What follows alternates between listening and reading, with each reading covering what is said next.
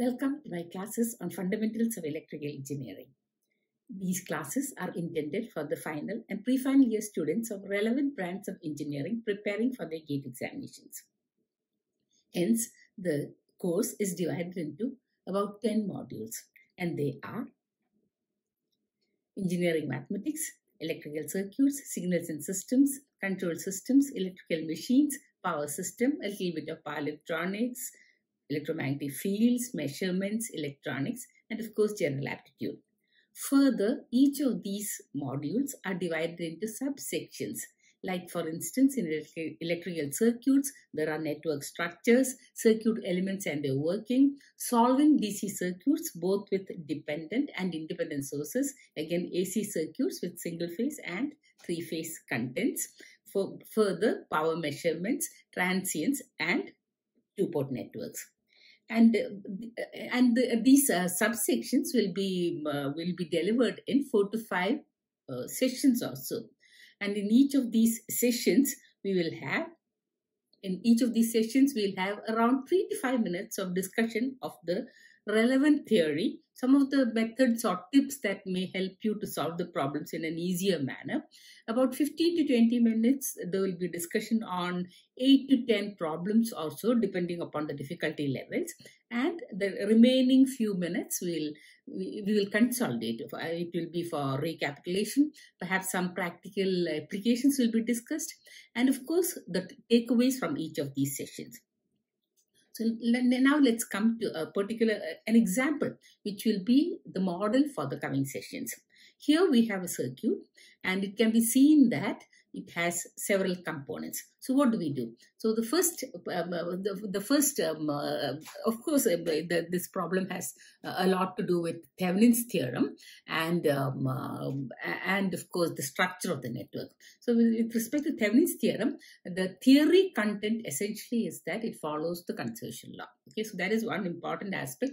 Uh, and as for every system, this uh, system also follows the conservation law.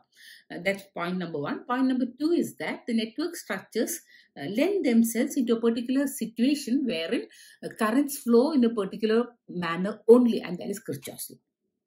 So let's move on to uh, the methodology. Okay, so the methodology is where I suggest that you always look at the circuit first or the diagram that is given first because when you go to the English reading of the problem then uh, it, it gives you uh, it gives rise to reinforcement.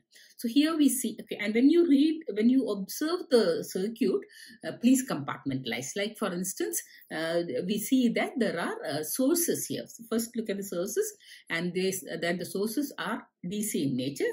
There is one um, uh, voltage source and another current source, and together uh, they was uh, they cater to the entire circuit, where wherein the circuit elements are inductors on the left side, the capacitors on the right side, and supported by resistances.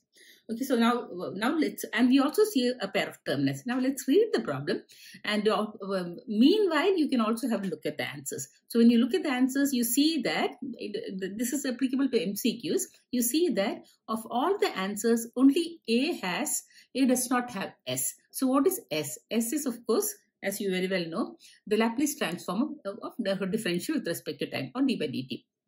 If that is the case, then if you have a DC circuit, then d by dt is irrelevant. And this is a, DC circuit. So in that case, DC circuit because energization happens to be by DC sources. Okay? So, if so if that is the case, then uh, we see that, um, uh, that that S is going to be zero. So the answer is going to be one. So that's uh, that's something that you have inherent in your that you have inherent in your mind as you read the problem okay? So let's read the problem. The thevenin's equivalent impedance zth between the nodes p and q in the following circuit is so automatically the answer is 1. Why? Because steady state, Thevenin's uh, is applicable to steady state. Okay. So that's point number 1. Point number 2 is how do you five? How do you calculate the Thevenin's impedance? Okay. So there are three steps to be followed. First and foremost, you deaden the uh, sources. Uh, uh that's uh, again conservation law because the, the, uh, the, the, there are two separate entities for any circuit. One is what feeds it, that is the sources, and what takes on the takes on the feed. Okay, so we have um, the sources. So and the current source is replaced by an open circuit. The short the, um, and and the voltage source is replaced by a short circuit. That's point number one. Point number two: how do how do the elements react to these sources?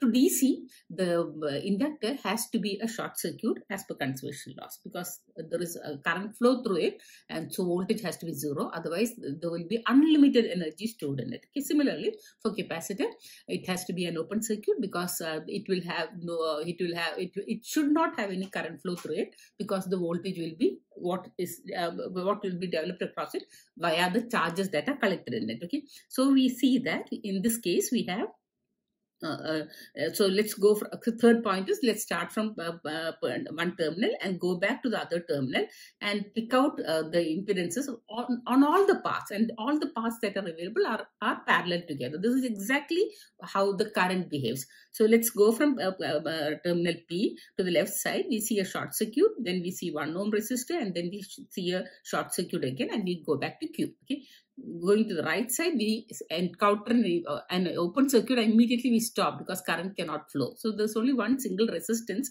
obstructing the whole uh, flow of current and uh, with respect to term, uh, uh Thevenin's terminals, and that's going to be 1 ohms. So this is the way that you solve, this is the way that you understand and uh, solve the problem.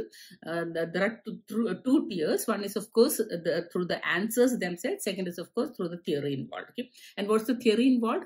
One point is that the Thevenin's happens to be a steady state. Second is, of course, the fact that the network structures behave in a particular manner such that they respond to the they respond to the sources uh, based on uh, whether they are DC or AC. Okay, and um, uh, and uh, the major takeaway from this uh, from this from this problem is the methodology and the understanding that the um, that the DC power sources um, uh, are reacted to by inductors uh, with the short circuit and by the, the, the capacitors by a open circuit.